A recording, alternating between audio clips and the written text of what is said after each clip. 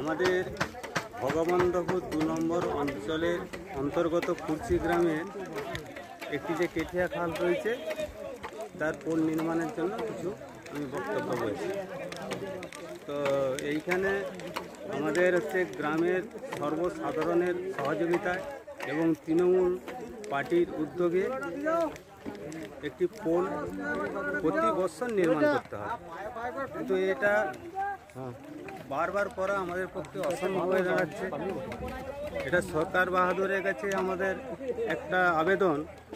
যদি এটা concrete pole হতো, তাহলে মোটামুটি পনেরোখানা গ্রাম উপকৃত হতো। সেটা আমি উল্লেখ রাখছি গ্রামগুলো। যেমন খুরচি কল্লা শিরসা ধরমপাতা, ঘোষকিরা ঢাইকন্ড সিমলা, বোলঘাটা এবং খালের ওপারে তোমার বারোশত নূতন বস্তি, ধুলিয়াডাঙ্গা, লক্ষ্মীপুর, রেজনা, রাস্কা, মৌল পরমন্দপুর এইসব গ্রাম গ্রামগুলো বহু লোক উপকৃত হতো। কিন্তু এইভাবে বারবার আমাদের পক্ষে মানে এই বাঁশের পোল নির্মাণ করা অসম্ভব। বাঁশের পোল করলে বন্যায় প্রত্যেক বছর ভেঙে নিয়ে চলে যাচ্ছে।